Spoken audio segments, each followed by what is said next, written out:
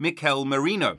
The midfielder had an incredible 23 24 season for both club and country. One of his biggest highlights of the season was his thumping header in the 119th minute against Germany in the quarter-finals of the Euros, which sent Spain to the semi finals.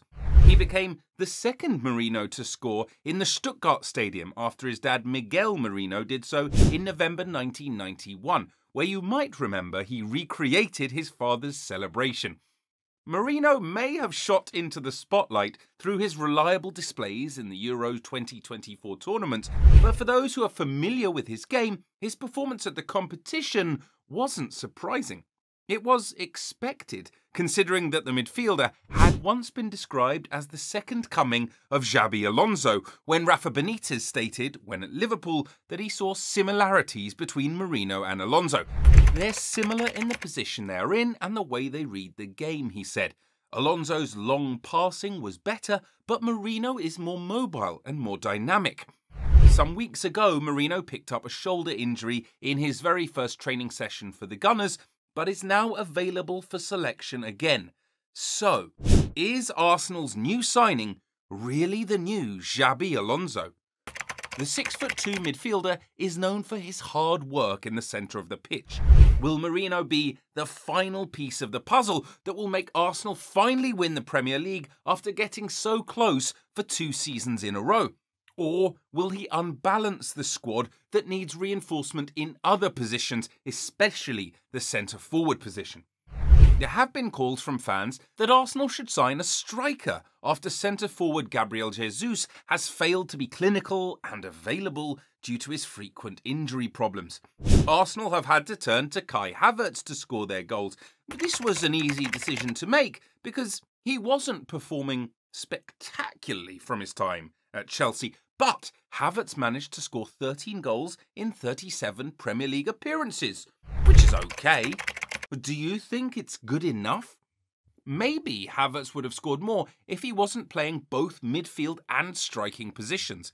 His output was still better than Jesus, who was primarily the striker but only managed four goals in 27 appearances. Havertz has opened his goal scoring account for the 24 25 season, and it's just early stages. The output both he and Jesus produced in terms of goals aren't that inspiring to fans. So many believed Arsenal would definitely sign a striker. But surprisingly, they've done the reverse. They sold their backup striker, Eddie Nketiah, and their coach, Arteta, insisted instead on signing Merino. The question is, why? Why did Arteta prefer another midfielder instead of a striker? As we all saw in the summer, Mikel is also a winner, with his strong performances throughout the Euros helping Spain win the tournament, Arteta said when Arsenal completed the transfer of the midfielder for the sum of an initial 32 million euros plus 5 million in add-ons. Despite mostly coming on as a substitute, Merino was integral to Spain's run to the Euro 2024 title. Spanish fans won't forget his dramatic 119th minute goal against Germany in the quarters. However, the Euros isn't even the best of the midfielder. It is the result of Merino's growth and development over the years. For Merino, it all started in Pamplona, Navarre, where he was born to footballer and Osasuna icon Miguel Merino. Merino began his journey to professional football with Amigó before eventually moving to Osasuna. After gaining match experience with Osasuna reserves, who played in what is currently now the fifth division of the Spanish league, Merino was promoted to the main squad on the 31st of January 2015. He quickly cemented his position in that main squad and was important to them avoiding relegation that season. His performances earned him a call up to the Spain under 19s. He scored Spain's first goal of the tournament and was an important part of the team as they went on to win the competition.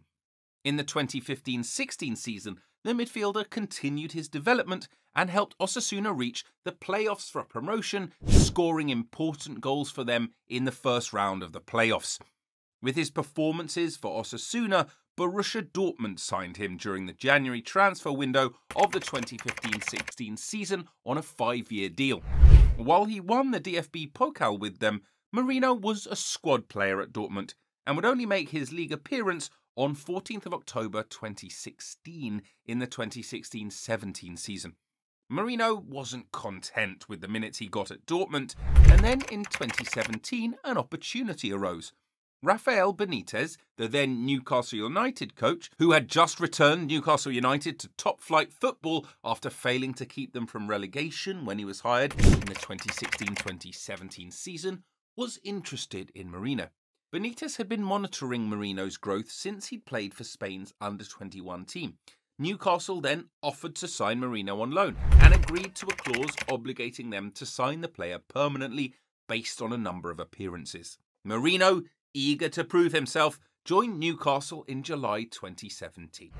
Merino had a solid start at Newcastle, especially on the defensive side. In his second start for Newcastle against West Ham, Merino had already stamped himself as a no nonsense midfielder. He put up a man of the match performance with his assured all round midfield display. His performance helped Newcastle win the game 3 0 and also earned him a comparison with the man who took Bayer Leverkusen to the invincible Bundesliga win, Xabi Alonso. As Benitez himself said, what Merino lacked in passing range at the time, he made up for in his mobility and dynamism. So, is his passing range now better? We'll get to that soon. Merino's mobility and dynamism didn't translate to goals and assists at that time. He only scored one goal and made an assist in his 25 appearances across all competitions for Newcastle, who did eventually sign him on a permanent five year contract. Now, while he didn't score or assist much, Merino was a duel monster. Despite only having 24 appearances, he was top 10 in defensive stats and first when it came to duels in that 2017 2018 season. What he achieved despite not playing all through the season was pretty breathtaking. He was the fourth best midfielder when it came to tackles, as he won 2.68 per game, fifth on the rankings when it came to possession won, eighth when it came to aerial duels and interceptions. His first season was great from a defensive point of view, but by July 2018, Merino returned to Spain and signed for Real Sociedad in the 2018 19 season.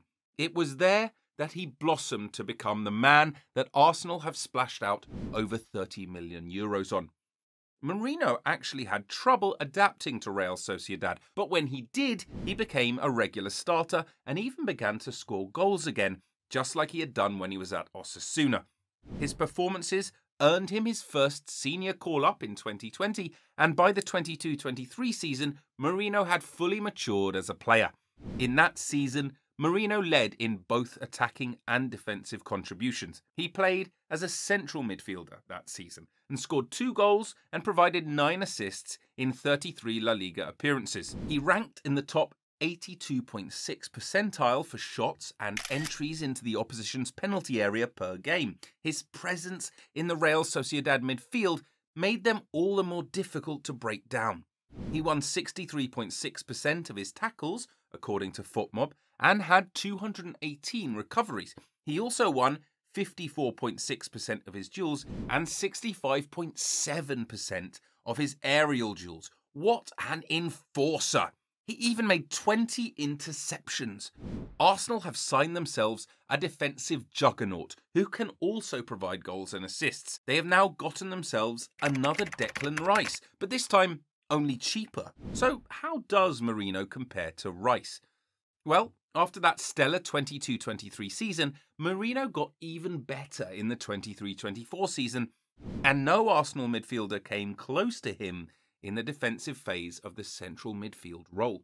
Merino played 2,485 minutes last season. He won more duels per 90 than Rice. The Euro 2024 winner won 11.8 duels per 90, with Rice winning only 4.3, despite playing 3,230 minutes. Merino won the most aerial duels in Europe's top five leagues in 23 24 with 168 duels at 6.1 per 90, but Rice is nowhere near Merino in this regard, as he won 1.1 aerial duels per 90. The player has won more tackles and possession too than Rice. Added to that, he can also score goals just like Rice. However, Merino does have to work on his passing accuracy. he isn't currently better than any of Arsenal's midfielders in this regard. He has only 77.3% passing accuracy, far lower than Rice at around 90.7% pass accuracy. Although the way Arteta might use Merino could hide that flaw in Merino's game. How do you think Arteta will use him? Standing at 6 foot 2, Merino, as Benitez described him as, is a mobile and dynamic midfielder. He's a genius at the combative aspect of midfield, an area which Arsenal need to build upon since the departure of Granit Xhaka. Merino will add additional aerial threat to Arsenal and will help them win possession back with his abilities to duel. Over the years, he's added goal scoring by powerful headers or arriving at the box late. He's also become an avenue for creativity as he's capable of producing assists. Arteta may want to form a midfield three of Rice, Merino, and Ødegaard. Merino will be the solution to the problem Arsenal are having with Rice when it comes to build up, since he can receive the ball during the build up phase. Rice is better when it comes to playing box to box, and Merino could be the midfielder that sits while Rice is slightly more advanced, where he's more dangerous. That way, Arsenal have another player coming forward who can score goals, and they would need that, considering both Havertz and Jesus haven't inspired much confidence in front of goal. Also, Merino could fill in for Rice too, should the Englishman not be available. The two of them occupy similar areas on the pitch, so they can be used for like for like too. With this, could it be that Merino is the final piece for Arsenal? They've gotten close to winning a few trophies, but have found themselves overrun when it matters. Merino, apart from his on the ball and off the ball capabilities, could also add leadership qualities to the team. Will his signing be enough for Arsenal to conquer Manchester City, or will City go for a record fifth title in a row?